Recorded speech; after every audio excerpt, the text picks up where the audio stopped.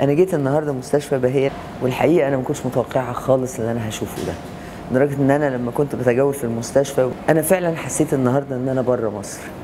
آه، بس اللي اللي خلى يعني قلبي يرتاح إنه أخيرا الأمنية اللي كانت عندي وأنا بتعالج بره حصلت أخيرا. إنه يا ريت يبقى عندنا في مصر حاجة تحسسنا إن إحنا كأننا بره مصر. مش هتكلم عن الأجهزة اللي مش موجودة غير بس هنا.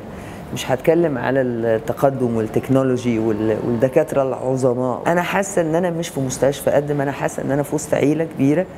آه، مش عارفة أفرق بين المرضى وال- وال- واللي بياخدوا بالهم منهم والدكاترة. كلهم شخص واحد كلهم روح واحدة كلهم آه، يعني بيدوروا على الابتسامة.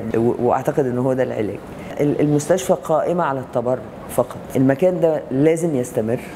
لازم نتبرع فعلا لنفسنا لأنه ال- الناس اللي موجودة في المستشفى دول إحنا يعني بتمنى الخير لكل الناس لكن إحنا ممكن كل واحد فينا يبقى موجود باللحظة والتانية. أشكركم جدا وفي انتظاركم وفي انتظار تبرعاتكم. سماح انور